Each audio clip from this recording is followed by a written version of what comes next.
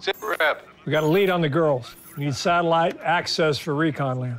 And troops to back us up if we find something. I'll do what I can, but with reduced U.S. presence in country, I'll need to call in a few favors. We'll start calling, please. In the meantime, you might want to consider Tripwire perimeter on the road leading into town.